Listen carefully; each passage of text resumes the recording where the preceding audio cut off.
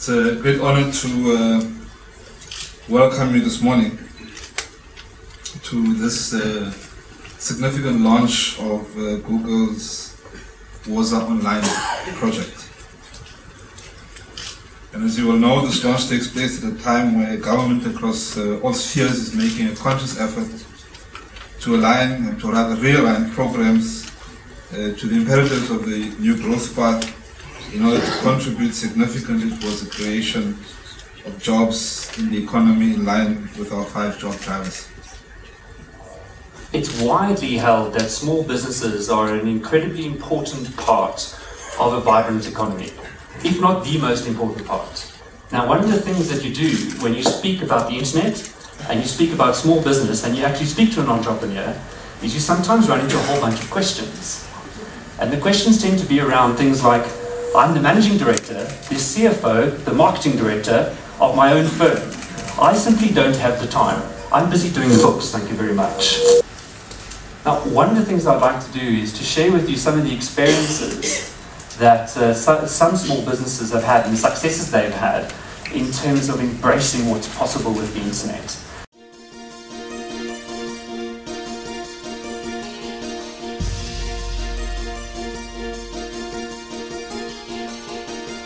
Always talking about it that we need to put our stuff uh, on the web as well so that people can have access to the band. The benefit of having our business online, I think, is all about marketing ourselves, making sure that we reach uh, the target that we set for ourselves. Taking the business online was like, well, we wanted the guitar to be a kind of a, a visible instrument all over the world because we knew that without a website then just a few people will know about the guitar. We get a lot of, a number of orders, let's say about three or five per month. Some of those people, they have never been to Cape Town. They have never seen the live guitar at all. Some are bought by you know, managers, the Bruce Springsteen, he's got a guitar.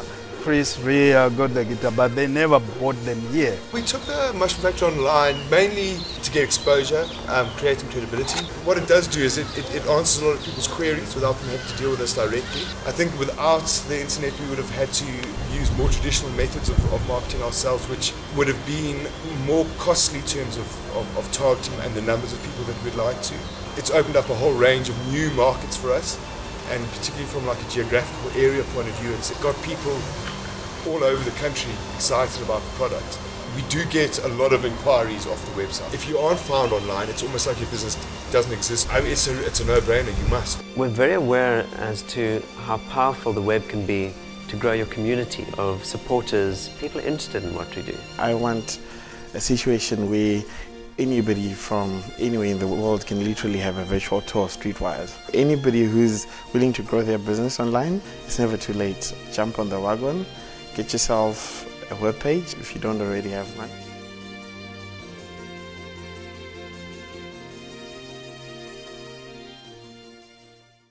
The first thing to do if you want to create a website using Woza Online is to open up your favorite web browser, either on your own computer, or an internet cafe, or a friend's computer, pretty much anywhere, and navigate to www.wozaonline.co.za.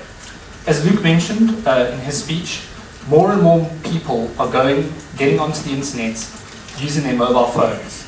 Um, and this is a trend which is not going to diminish. This is going to accelerate further and further. So your business must be available when people are searching from their phones. And typically that is also a very complicated, difficult technical process to go through. With Woza Online, every new website is mobile. If you pull out your phones, and hopefully your data connection will work, if you pull out your phones and go to that address right now, you'll see something like this. Zanzi Pochli CC, a list of our products, the ability to contact you from your phone. And if it's on your phone, on your real phone, you can click there and phone the business. Or alternatively, the navigation. I'm going to show you some of the relevant findings from our current SME survey. We're halfway through the process of interviewing 2,000 SME decision makers in South Africa. And the focus of this year's survey is SMEs on the web. And we're measuring the impact of having a website on SMEs. What we try to do in SME survey is not be too leading in our questions. We don't say, did your website help to make you profitable? We do it more indirectly. We ask, how profitable are you? And then we look at whether you have a website. And that gives us a correlation between having a website and being profitable or being competitive and a number of other measures that we use as well. Firstly, older SMEs were far more likely to have a website. And one of the known facts about SMEs is that the older you are, the more profitable you are likely to be and the more revenue you're likely to generate. And it seems having a website is a strong element of that. So on behalf of my fellow colleagues at, at, at Vodacom, um, the executives that couldn't be here, there were many tactical reasons of why we couldn't do it. Some of them technical, some of them because there's lots of, lots of projects.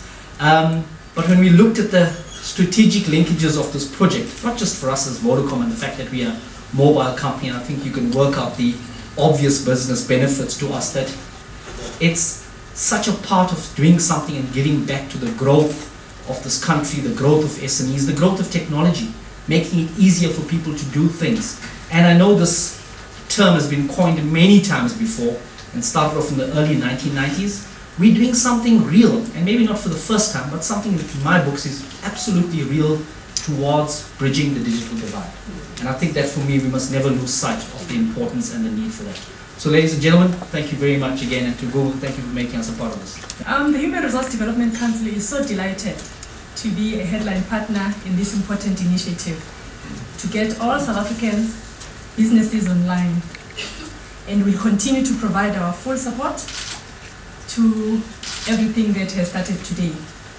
Our council is a multi-stakeholder body which is chaired by the Deputy President, Kgalema Motlanthe which is made up of 50 members, including 14 national cabinet ministers, trade unionists, senior business leaders, civil society, and academia. We see the development and support of South Africa's entrepreneurs as imperative to creating jobs and bringing prosperity for all South Africans. In fact, the production of successful entrepreneurs must be one of the critical outcomes we should measure ourselves by. I must say today it is a special day because the mid-20th century ushered in tools, computer, internet that redefined the way society communicated. But the introduction of these tools also presented new opportunities which saw the ICT institutions such as Google being born. But innovation and creativity characterize the information age. In this day and age, the ICT sector has become a very critical part of modern economies. But the development of the ICT sector has improved global communication and reduced the cost of communication or doing communication. I'm glad Vodacom is part of this initiative, and I'm sure we'll go a long way to make sure that we can uh, assist us and make sure that we go much. This is just the first step.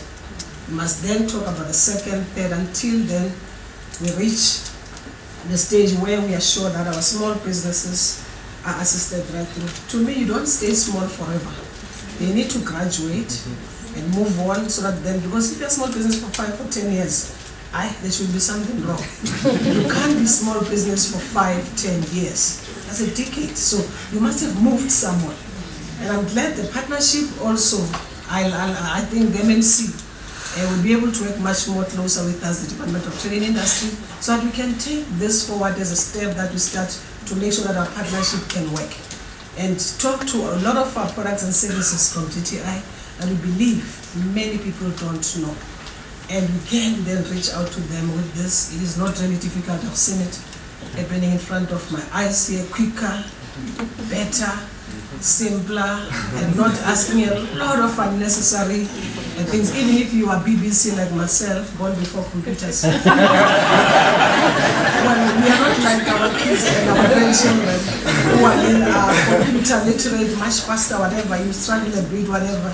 Sometimes if you do the SMS, I don't, Granny, you don't do that. I must teach you, you must know where Z is, you must not look at Z. You must know where Z is and all that. But to me, I think this is one good example because even if you are in a rural area, if you can be able to have some of the broadband and other, eh, and other related networks to make sure that people can access this even using their cell phones now because even in rural areas people can afford a cell phone you can then access this and make sure that you register online and you're then a good business person if you are peri-urban, rural, etc. But thank you very much. I hope that we take this forward and work together.